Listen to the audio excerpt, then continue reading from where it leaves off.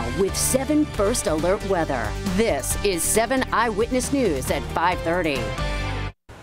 The last thing she said to her son, according to Christopher, the one eyewitness, was climb on my back, and he did, which pushed her underwater.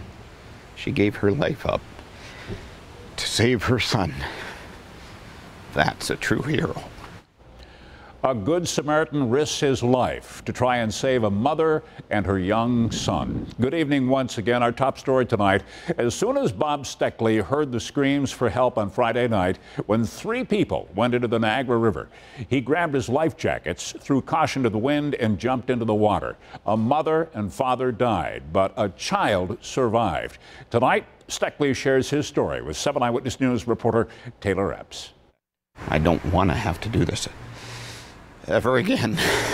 Bob Steckley moved into his house on Niagara Boulevard in Fort Erie two years ago, right on the waterfront. Never ever once when we moved here did you think about what may happen in the river. But three weeks after he moved in, Heard some screaming from across the street and saw a head bobbing down in the water. that person suffered a stroke and fell into the river. Bob helped to rescue him with life jackets he kept in his home. After that, I said I'm going to keep the life jackets in the front hall closet because living here, it's probably going to happen again. Unfortunately, it did happen again this past Friday evening. And I could see the little boy in the water, and I could see something else in the water. Threw the life jacket on, dove in, swam to him. As I got closer, I could see it was another person in the water. Bob says the boy's name is Tatum and that the other person was his mother, Amanda. And actually swam to shore, pushing him in front of me while I pulled the mother.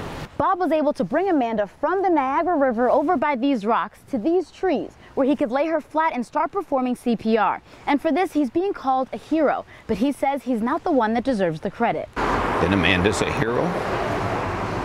She gave her life for her son, and she needs to be remembered as such. Bob says Amanda was not as lucky as her son. She was taken off life support on Saturday. A friend of the family has started a GoFundMe page for uh, funeral expenses for Amanda, as well as uh, money to help out with the uh, the children. You can find information on how to help out on our website, wkbw.com. In Fort Erie, Taylor Epps, 7 Eyewitness News.